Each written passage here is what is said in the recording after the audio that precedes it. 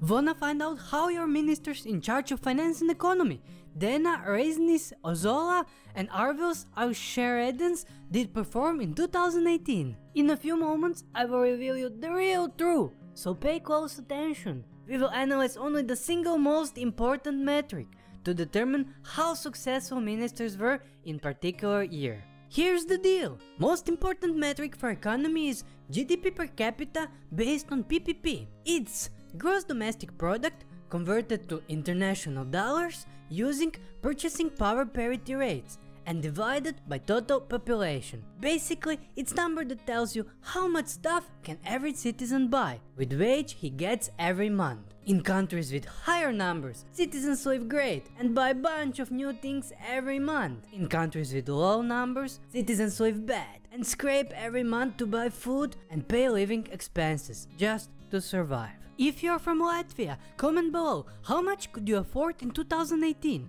and were you satisfied with that? Now, our data source will be IMF's GDP per capita based on PPP rankings report. IMF stands for International Monetary Fund. We will analyze two main factors.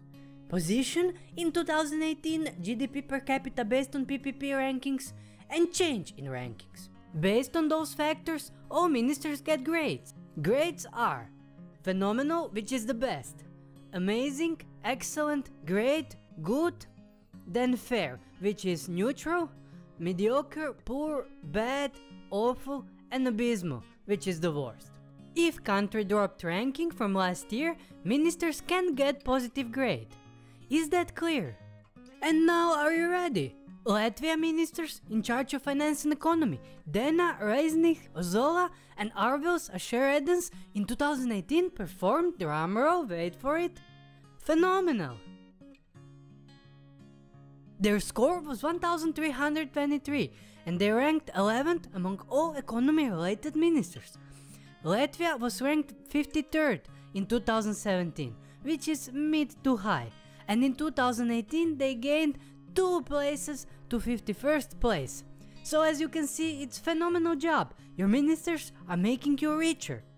If you now want to see how leader of Latvia, Prime Minister Maris Kučinskis, did perform in 2018, click the link in the top right corner.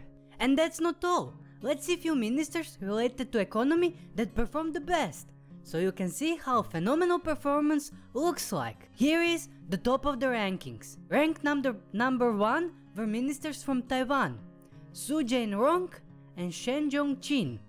They did phenomenal job and Taiwan recorded jump of 3 places in the ranking.